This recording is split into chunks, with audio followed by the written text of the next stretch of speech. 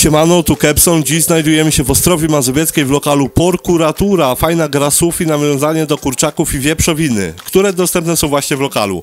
E, Słyszałem dużo dobrego od znajomych, że porcje spore. Tutaj pozdrawiam Łukasz, wiem, że będziesz to oglądał, ale i na przestrzeni czasu e, trochę ludzi pisało mi o tym, żeby przetestować. No i co?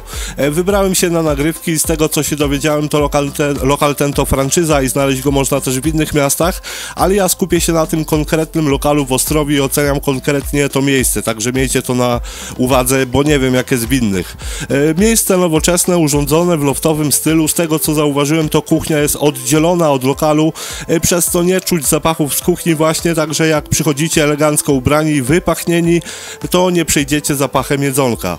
Dzisiaj powrót do serii kurczakowej na warsztat wzięty zestaw Wings XL za 32 zł. W Ostrowie nie ma kurczaków z wielkiej korporacji, ale powiem wam, że e, nie wiem czy nie lepsze. Dawno w KFC nie byłem, to może mam nieaktualne porównanie, ale dawno dobrych kurczaków w panierce nie jadłem, do dzisiaj.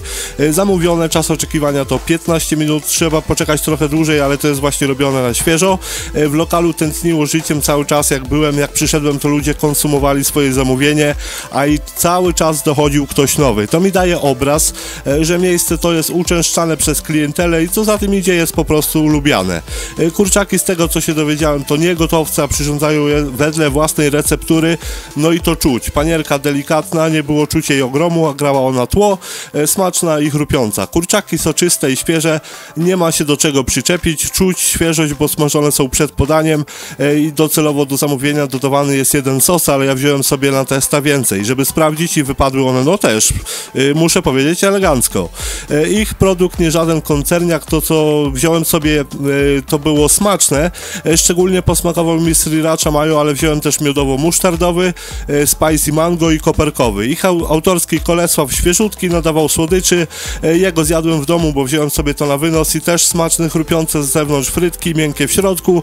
No i co, fajnie to wypadło, nie ma się do czego przyczepić, jeśli chodzi o ten zestaw obiadowy, który dziś Wam prezentuję.